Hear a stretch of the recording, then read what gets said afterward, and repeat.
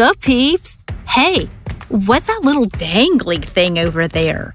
Ah, that must be the appendix. It doesn't do much besides house bacteria that might need to be released into the gut. It's also got some tissues that are useful for your immune system. Hey, if your appendix gets inflamed, a doctor will cut it out of you. Really? Looks like this guy still has his. While it may be convenient to conduct a virtual meeting with people on different continents, it can also be frustrating. These frustrations can affect morale, engagement, and productivity. This calls for a new set of protocols and behaviors. Creating consistent rules and rituals will go a long way in building a new communication skill set. Meet Jessie. Like every busy parent, she wants what's best for her family's health. Thankfully, she has Teladoc.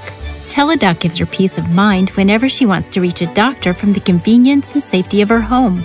Prescriptions can even be sent to the pharmacy. Imagine if every time you swipe your debit or credit card, you were setting aside money and investing for the future. With Acorns, you can. Acorns gathers up the spare change from your everyday purchases and moves it into an Acorns investment account. Okay, team, so the market has changed. We need to adapt and target a new demographic. I think Blue Shift might just be a good solution. The reason I've called this meeting is to hear your opinions. Sue, what do you think? Customer relationships are complicated. That's why Zendesk created Sunshine.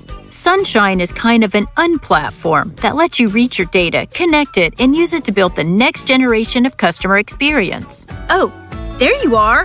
Awesome! I thought I lost you in the large intestine. Oops, gotta go. Bye.